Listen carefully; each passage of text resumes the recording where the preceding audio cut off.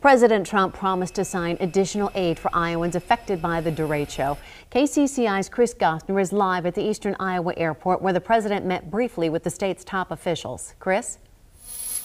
Yeah, Stacy, this was a last minute addition to the president's schedule. He remained here at the airport for a little more than an hour, promising help.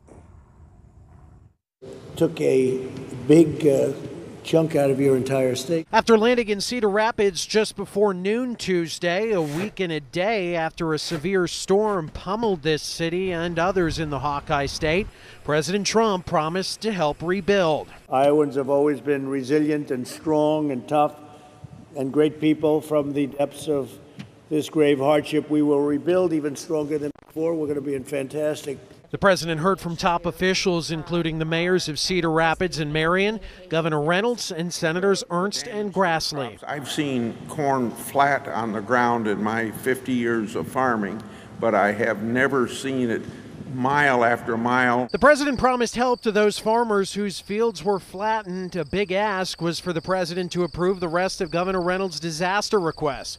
On Monday, he approved $45 million for repairs to government buildings and utilities, but he has not yet approved the individual assistance portion. More than 82 million would help cover some destroyed or damaged homes. More than 3.7 billion would cover agriculture damage. The president indicated he plans to sign it. The papers are done. You're going to look into yes, one event? Yes, sir quickly and we'll get that approved. Okay. Some Cedar Rapids residents have criticized the time it's taken to get aid, but two we talked to today say they're happy to hear about federal help. I think it could have come faster, but I mean, hey, we can't do anything about it. We got a lot of help from a bunch of different states, and we do appreciate President Trump for helping us out also.